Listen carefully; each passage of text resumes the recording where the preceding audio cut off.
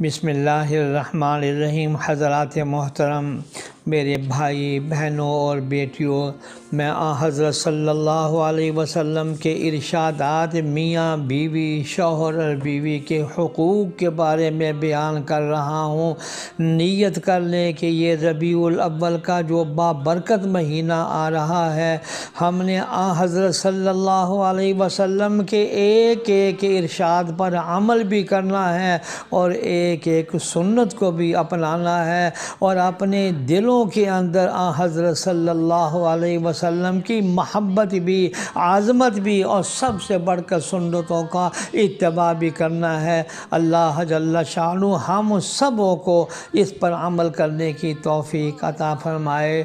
آج میں حضرت ام سلمہ رضی اللہ تعالی عنہ فرماتی ہے کہ رسول اللہ صلی اللہ علیہ وسلم نے فرمایا کہ جو عورت اس حال میں وفات پائے کہ اس کا شوہر اس سے راضی اور خوش ہو وہ جنت میں داخل ہوگی۔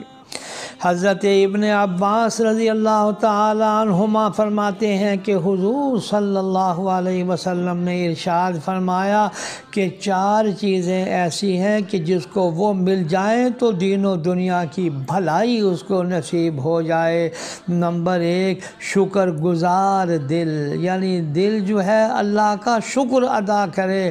نمبر دو، ہر حال میں اللہ تعالیٰ کو یاد رکھنے والی زبان۔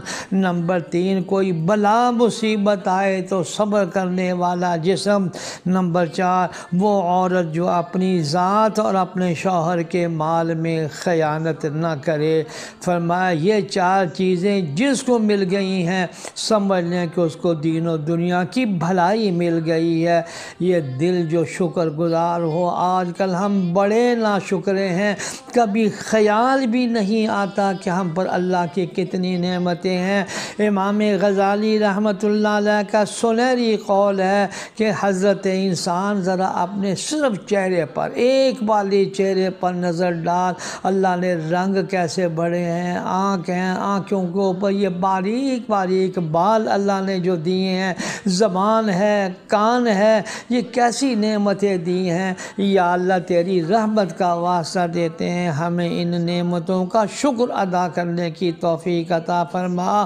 پھر سب سبق دیا آ حضرت صلی اللہ علیہ وسلم نے کہ صبح و شام چند مرتبہ یہ پڑھ لیا کرو۔ اللہم لک الحمد و لک شکرو